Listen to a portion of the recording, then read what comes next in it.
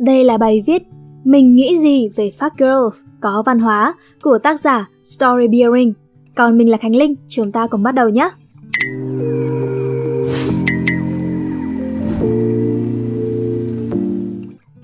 Người yêu em á, đúng là một phát girl tồi tệ. Cô bé xinh đẹp say khướt, nằm gục trên vai mình vừa khóc vừa lầm bầm như vậy, sau khi đã 5 lần 7 lượt gọi điện cho người yêu mà không hề bắt máy. Bọn mình mới gặp nhau 30 phút ở một quán nhậu khá nổi tiếng quận 1 Sài Gòn. Hình như đời thấy hôm đó mình hơi xui xẻo vì hôm đó bể kèo nên đền cho mình ngồi cạnh bàn của nhóm các cô bé đang say sưa tưng bừng. Đồng bệnh tương lân, mình rủ mấy cô bé và ghép bàn tám chuyện. Cái bệnh cứ thấy gái là mắt sáng lên ấy mà, dù chẳng quen biết gì nhau trước đó.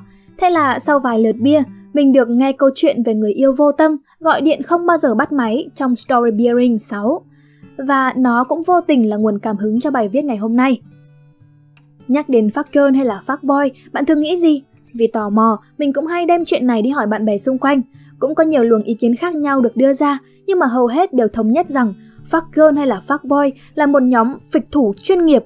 Họ không quan tâm đến các chuẩn mực đạo đức, dối trá, giả tạo, sẵn sàng dùng lời lẽ ngọt ngào để chơi đùa với tình cảm của người khác nhằm đạt được mục đích cuối cùng của mình, tình dục. Cuối cùng, mục đích của họ chỉ là việc có bao nhiêu người đã lên giường với mình. Nói theo một cách khác, fuck girl hay là fuck boy là đại diện cho tất cả những khía cạnh đen tối đáng bị lên án nhất của loài người.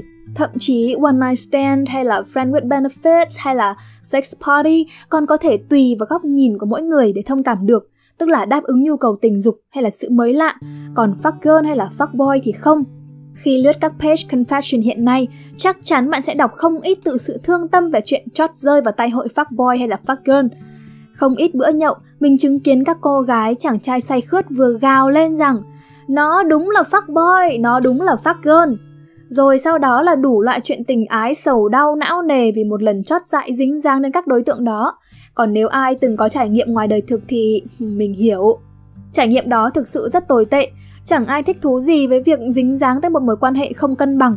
Trong đó mình không hề trông đợi việc bị mang ra làm công cụ tiêu khiển tình dục, bị đối xử hời hợt, tàn nhẫn không đúng như kỳ vọng hay hy vọng của mình. Nhưng mà bài viết này không nhằm để bóc phốt phát girl, phát boy hay là bất cứ cửa chơi hệ phác nào. Thế thì nhàm chán quá.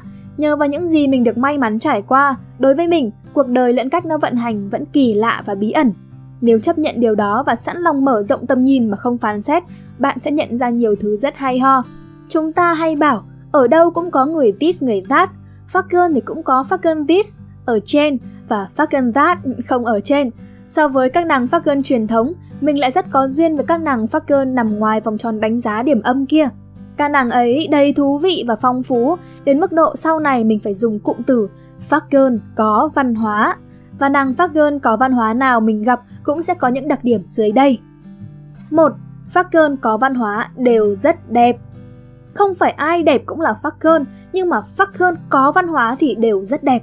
Nếu bạn nghĩ nàng đẹp tiêu chuẩn theo kiểu da trắng như Ngọc Trinh, ngực tấn công, mông phòng thủ thì không phải. Có những nàng đẹp từ trong trứng nước cả đời chưa sầu bao giờ. Có những nàng thì kiểu dậy thì vài lần cuối cùng cũng thành công. Và dù là đối tượng nào thì ngay ngay các nàng cũng phải nỗ lực rất nhiều để được đẹp lẫn duy trì vẻ đẹp đó. Đầu tiên, Phát cơn có văn hóa đầu tiên luôn biết mình sống để mình ăn. Nàng có thể thi thoảng chiêu chuộng mình với sô-cô-la, bánh ngọt, fast foods nếu đi chơi cùng bạn bè. Còn phần lớn thời gian, nàng sẽ tự tay đi siêu thị, mua thật nhiều thức ăn tươi ngon để về tự chế biến. Đồ ăn có thể không cầu kỳ, nhưng lúc nào cũng phải đủ chất và cân bằng dinh dưỡng. Hương vị có thể đơn giản, nhưng lúc nào cũng phải vừa miệng thanh tao. You are what you eat. Các nàng hay nói với mình như vậy. Mỗi lần khoe chiếc story về món smoothie rực rỡ màu cầu vồng, chiếc bình thủy tinh lúc nào cũng đầy âm áp để bổ sung nước cho cơ thể. Có lẽ vì vậy mà làn da của các nàng lúc nào cũng mạnh khỏe, mịn màng, căng mướt như một dải lụa sống, thoang thoảng hương thơm mềm mại, khiến bất kỳ ai cũng phải vấn vương. Thứ hai, những nàng fuck girl có văn hóa mình gặp đều biết họ đẹp theo cách của họ. Không phải ai cũng có body theo tiêu chuẩn của thời đại bây giờ, bạn biết đấy. Đâu phải ai cũng sinh ra may mắn sở hữu vòng eo thon nhỏ, bờ mông căng tròn, đôi chân dài miên man. Các nàng phát cơn có văn hóa của mình chẳng hề bận tâm tới mấy tiêu chuẩn ngoại hình chung, bởi họ biết ưu điểm của mình nằm ở đâu, lẫn những điểm mình có thể cải thiện để ngày càng đẹp hơn. Để từ đó họ hoàn toàn có thể đẹp theo cách riêng của mình. các nàng miệt mài ở phòng gym, đổ mồ hôi ở các lớp tập yoga, bầm dập với lớp múa cột hay là sexy dance. Vận động nhất định phải có trong từ điển của nàng, vì vận động mới giúp nàng có thể yên tâm tận hưởng đồ ăn ngon mà vẫn sở hữu vòng bụng phẳng lì, bờ vai thon gọn phô diễn xương quai xanh yêu kiều, bờ mông lả lơi đầy mời gọi, đủ để bất kỳ ai cũng phải dõi ánh mắt theo sải bước của nàng. Thứ ba, những nàng phát cơn có văn hóa mình gặp, thích chăm chút cho bản thân mình trong lúc nào cũng đầy sức sống. Mỗi người có một phong cách riêng, người thích make up, có người thì thích giữ nguyên chân mày rậm đen nhánh, mái tóc lòa xòa không được tỉa tót cầu kỳ. Mỗi lần ra đường, nàng khoác lên mình những bộ cánh mềm mại chỉn chu. Tùy vào từng hôm và tâm trạng và phong cách của các nàng sẽ thay đổi. Thi thoảng nàng xuất hiện với hình ảnh thanh lịch và sang trọng. Hôm nào hứng lên thì nàng có thể vỡ bừa lấy một món đồ trong tủ, búi tóc trễ nải theo một phong cách rất pháp.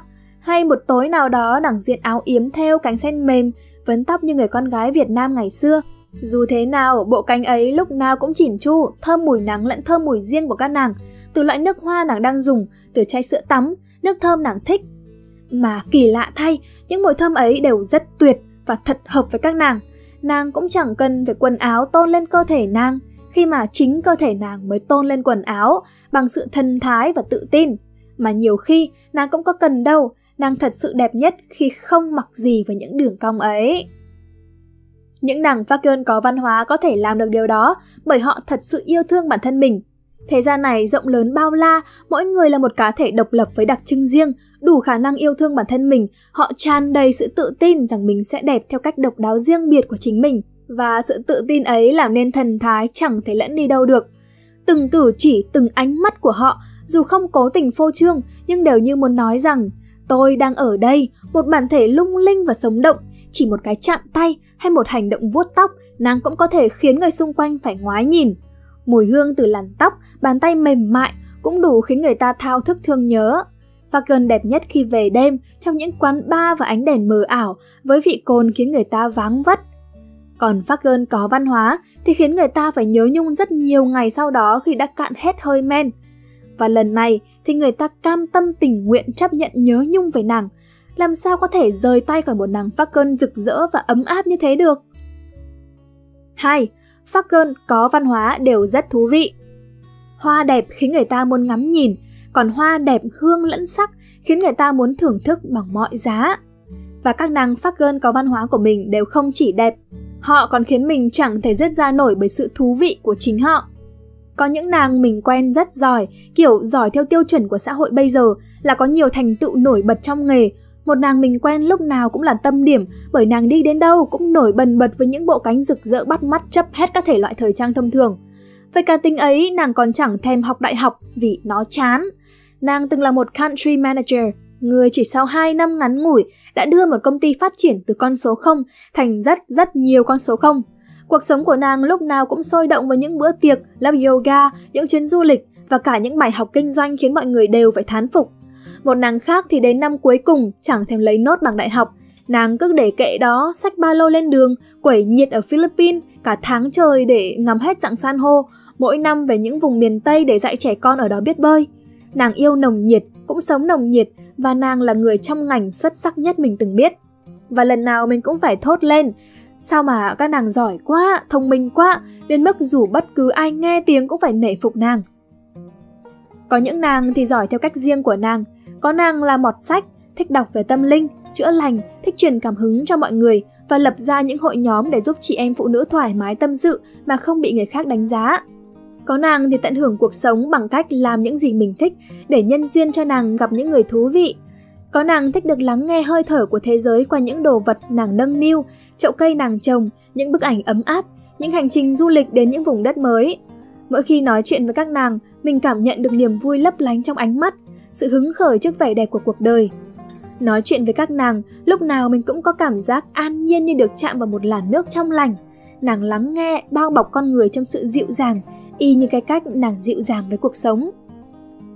Cũng có khi vào một ngày không được đẹp trời lắm, ánh mắt nàng có phảng phất chút u sầu của quá khứ. Nhưng rồi nàng bình thản bước qua từng chương buồn của cuộc đời đó, cười nhẹ nhàng trước những nỗi đau đã liền sẹo, tếu táo về những câu chuyện lúc đó thì buồn thật, giờ ngẫm lại đúng là hài hước như những tập phim đã qua. Mà chuyện của nàng lại hay chứ, nàng kể về những đêm dài không ngủ dưới bầu trời đầy sao, nước mắt chảy dài ướt nhoẹt nơi gò má, về những ngày tuyết tăm tối chẳng có ai bên mình, về việc nàng ôm con và quyết định trở thành single mom bởi không chịu được cuộc sống hôn nhân như địa ngục, về những lúc tự làm đau bản thân để lại vết sẹo không phai mờ trên cổ tay. Nhưng mà những vết sẹo ấy, nàng vẽ lên đó những đợt sóng nguệch ngoạc như một đứa trẻ, rồi trân trọng nó như một bức tranh quý giá, bởi không nhờ những khó khăn ấy sẽ chẳng thể có nàng mạnh mẽ như ngày hôm nay. Ở bên cạnh các nàng cảm giác thật thanh thản và chẳng có nỗi buồn nào có thể chôn giấu quá lâu. Mình cảm thấy được cảm thông, thấu hiểu và rồi thật nhẹ nhàng, nỗi buồn bỗng bay biến như chưa từng xuất hiện, chỉ để lại lấp lánh những niềm vui, duyên cơ trong cuộc đời. Mà cứ hay ho như vậy thì có ai lại không muốn ở bên cạnh các nàng mãi thôi. 3. Phát cơn có văn hóa, đam mê và trân trọng tình dục đã gọi là phác girl rồi phác boy thì tất nhiên ai cũng phải có đam mê lớn với chuyện tình dục. Có lẽ người chơi hệ phác bình thường đam mê tình dục theo số lượng, còn phác girl có văn hóa mà mình biết đều trân trọng những trải nghiệm tình dục họ có. Họ tìm đến chuyện tình dục vì những lý do rõ ràng. Họ có nhu cầu trải nghiệm tình dục như ăn uống hít thở. Họ thích tình dục thuần túy bởi ngay thời điểm này họ chắc chắn rằng bản thân mình chưa muốn dành sự ưu tiên cao nhất cho tình yêu. Mình nghĩ chúng ta chẳng nên đánh giá bất cứ ai về quan điểm tình dục, bởi tình yêu và tình dục, nếu bạn nghĩ nó nên đi chung thì hãy cứ tin thế, nhưng hãy cứ tin rằng tình yêu có thể tách biệt với tình dục và tình yêu thì chưa đến lúc này, vậy tại sao không tranh thủ nó chưa đến mà tận hưởng sự nứng tình theo cách mình muốn? Khác với số đông, với Fagan có văn hóa, tình dục là điểm chạm của khoái cảm, vậy nên họ cũng nâng niu từng cái chạm đó, dù có thể đấy là cái chạm lần đầu cũng là lần cuối. Đối với họ, tình dục là sự thỏa mãn từ cả hai phía, và đó là lý do một khi đã chọn được đối tượng hợp gu bằng con mắt từng trải sắc sảo, họ sẽ làm việc đầy nhiệt thành và mê say. Họ có thể vừa dịu dàng phút trước, phút sau đã đầy mạnh bạo và mãnh liệt trên giường. Họ là fuck mà. Và với từng đó kinh nghiệm trải qua, họ hoàn toàn có thể cho bạn những trải nghiệm chẳng thể nào quên được. Họ có thể nép vào lòng bạn, dù lúc này cả hai đã mệt nhoài và dành lời cảm ơn vì một cuộc tình hoan ái mãnh liệt và thỏa mãn. Họ có thể nhẹ nhàng ôm lấy bạn, rồi sáng hôm sau dành tặng một nụ hôn cảm ơn trước khi ai về nhà nấy. Hoặc họ cũng có thể biến mất đúng như những gì của cuộc tình một đêm hay làm mà chẳng cần bạn suy nghĩ hay ngại ngùng gì. Họ biết nên chạm thế nào và chạm kiểu gì cho mọi thứ đều vừa đủ. Như một món ăn ngon được bày ra với định lượng vừa phải để bạn có thể thưởng thức hết, không quá đói cũng chẳng quá no. Họ khiến người ta nhớ về họ với niềm vui và sự trân trọng. Falcon có văn hóa cũng sẽ nhớ về những người đàn ông, phụ nữ đi qua đời họ như một ký ức đẹp trong đời.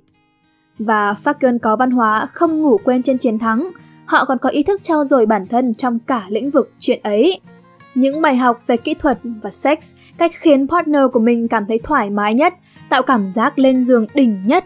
Tình dục thì là sự thỏa mãn từ hai phía, vậy sao mình không học cách để thỏa mãn chính mình và partner nhỉ? Nếu những skill này giúp cuộc yêu trở nên đỉnh của chóp thì tại sao không? Tin mình đi, nói chuyện với những nàng phát cơn có văn hóa một lần về tình dục là một trải nghiệm vô cùng kỳ thú. Bạn sẽ nhận ra rằng tình dục còn hơn là tư thế hay xúc cảm, mà đó là sự khéo léo, nắm bắt khoảnh khắc, tường tận về bản thân mình lẫn khả năng thấu hiểu bạn cùng giường. Vậy nên chắc vừa là may mắn nếu bạn lỡ va phải giường của một cô nàng phát cơn có văn hóa, và cũng lại vừa là nỗi buồn khi bạn chỉ gặp nàng một lần thôi. 4. cơn có văn hóa sở hữu luật riêng. Luật ra đời nhằm mục đích xây dựng một xã hội có trật tự, kỷ cương, văn minh mà còn hướng đến bảo vệ và phát triển các giá trị chân chính, trong đó có ý thức đạo đức. Fagan có văn hóa hiểu rõ điều này hơn ai hết, rằng để trở nên có văn hóa, họ cần những quy định riêng của bản thân mình. Mỗi một Fagan có văn hóa mình biết đều sẽ có những điều luật riêng, ví dụ như con thầy, người yêu cũ lẫn mới của bạn, trai công ty thì tuyệt đối không được động vào. Không dính dáng tay bông đã có chậu, nếu Sukana dính tới, khi bị nói dối thì ngay lập tức cắt đứt không do dự. Không thả thính, không cố tình gây thương nhớ, không trêu đùa với trái tim của người khác nếu họ là những người mong chờ một mối quan hệ nghiêm túc. Trân trọng đàn ông và phụ nữ, không coi họ là trò chơi hay thú tiêu khiển trao đổi thẳng thắn với partner nếu muốn duy trì mối quan hệ friend with benefits. Tình dục an toàn luôn luôn là tình dục an toàn. tôn trọng quan điểm cá nhân nhưng chấp nhận hay không là do bản thân mình. Do vậy không ép người cũng không ép mình. Vân vân và vân vân. Đừng nghĩ rằng luật lệ của nàng đặt ra là để cho vui, các fucker có văn hóa nhờ kinh nghiệm lâu năm biết rằng một khi đã hành động thì họ phải có trách nhiệm với hành động đó. Vậy nên sẽ rất hiếm khi có một fucker có văn hóa phá vỡ luật của họ. Như mẹ đã từng bảo mình, con người hơn nhau ở bản lĩnh, hãy chứng tỏ bản lĩnh của mình thông qua những giới hạn do chính mình tạo nên. Còn trong trường hợp fucker có văn hóa chẳng may phá luật thì sao? Trường hợp này rất hiếm, nhưng nếu xảy ra, bất kỳ ai cũng đương nhiên sẵn sàng chịu trách nhiệm cho quyết định của bản thân mình. Dám chơi thì dám chịu, họ sẽ tìm hiểu nguyên nhân, phân tích câu chuyện bằng nhiều góc nhìn, tự đúc kết ra bài học cá nhân để lần sau sẽ không phạm sai lầm thêm lần nữa. Ngu một lần có thể do mình chưa biết, chứ ngu lần thứ hai thì chắc chắn là lỗi tại mình. Tình dục giúp thỏa mãn đúng giây phút, còn đa phần đời sống thì phải dùng lý trí. Những nàng phát cơn có văn hóa thừa lý trí để biết rằng cách giải quyết thông minh, nhanh chóng nhất để bảo toàn cho cuộc đời của nàng là gì. Và thì bộ luật của các nàng từ giờ sẽ có thêm điều mới, có sao đâu. 5. Và nếu bạn sống vui có văn hóa thì tại sao không? Đến đây mọi người có thể hiểu các nàng phát cơn có văn hóa có cách sống quá khác biệt và chẳng phải ai cũng hiểu hay ưa lối sống đó. Nói đâu xa, những người đàn ông lẫn phụ nữ xung quanh đều không ngừng ngớt bàn tán. Người cho rằng phải tam tổng tứ đức, lập gia đình chăm con khéo mới đúng là làm phụ nữ. Người thì cho rằng nó sẽ khiến con người suy đồi đạo đức. Người cho rằng nếu cứ mải ngủ quen với bản tính vốn có của loài người sẽ khiến chai sạn cảm xúc của chúng ta. Người thì cho rằng nó chẳng làm sao, cũng bình thường như nhu cầu ăn ngủ, chỉ không có nhu cầu yêu đương. Vậy các nàng phát cơn có văn hóa của mình sẽ nghĩ gì? Mặc dù biết các nàng chẳng mấy quan tâm đâu, mình cũng tò mò thử hỏi trong một số các nàng. Người đang suy nghĩ rất nghiêm túc về việc viết một cuốn cẩm nang, làm thế nào để trở thành phát có văn hóa. Nghe xong mà chỉ phá lên cười và trả lời mình như thế này. Này nhá, cũng giống như mẹ cậu luôn cho rằng cậu ngỗ nghịch vì xăm mình xỏ khuyên, nhưng thực ra cậu bây giờ còn sống tốt hơn người khác vì ngoài ăn nhậu ra, cậu còn biết tự chăm lo cho cuộc sống cá nhân, ngày thể dục hai bận, ăn uống ít clean healthy. Cũng như đa số đàn ông, khi nghe đến từ phát girl đều nghĩ đó là một cái gì đấy tai tiếng lắm. Phụ nữ thì nghĩ mình đang bị xúc phạm, còn tớ thì thấy chả làm sao. Cũng như tớ thích sống kiểu này nên người ta vẫn cho rằng tớ là đứa não tàn của xã hội, trong khi tớ vẫn hàng ngày nộp thuế đầy đủ, làm từ thiện, giúp đỡ người già trẻ nhỏ và những người xung quanh. Đằng nào đó cũng chỉ là những cái label người ta tự nghĩ ra để định danh cho một sự việc gì đấy mình chưa biết và nghĩ rằng nhờ vậy họ có thể hiểu được điều đó. Có điều tớ không quan tâm, người duy nhất tớ quan tâm là bản thân tớ. Mấy người đó chẳng sống trong cuộc đời của tớ, người đang sống là tớ đây này. Và tớ phải có trách nhiệm lẫn nghĩa vụ đảm bảo rằng chừng nào vẫn còn sống thì tớ vẫn vui vẻ với cuộc sống của tớ. Chúng ta tận hưởng cuộc sống theo chuẩn mực của chúng ta và những người không đồng tình, họ cũng sống theo chuẩn mực và giá trị riêng của họ. Miễn sao hai bên đều thấy thoải mái, đối nhân xử thế, sống khỏe, làm điều có ích là được. Quan trọng nhất là mình thấy vui, có văn hóa. Tại sao lại không nhỉ? Như cậu hay bảo ấy, đời cơ bản là những lựa chọn, hãy chọn niềm vui.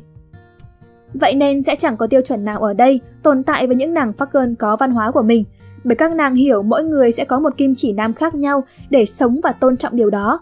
Còn việc đồng tình hay phản đối chẳng còn quan trọng nữa, bản thân các nàng Falcon có văn hóa đều quá nổi bật, vui vẻ yêu đời tận hưởng cuộc sống theo cách riêng của nàng, thì tại sao không? Và mình, bằng sự may mắn lẫn tình cờ, có cơ hội được quen biết các nàng, để các nàng tô điểm thêm cho mình, để mình thấy rằng cuộc đời này phong phú, đa dạng đến chừng nào. Mỗi con người trên đời này là những vũ trụ đẹp đẽ riêng biệt, để chúng ta khám phá và tìm kiếm vẻ đẹp ấy không ngừng nghỉ. Còn bạn, bạn nghĩ sao về những fucker có văn hóa? Liệu trong đời bạn đã từng gặp người nào trong các nàng chưa?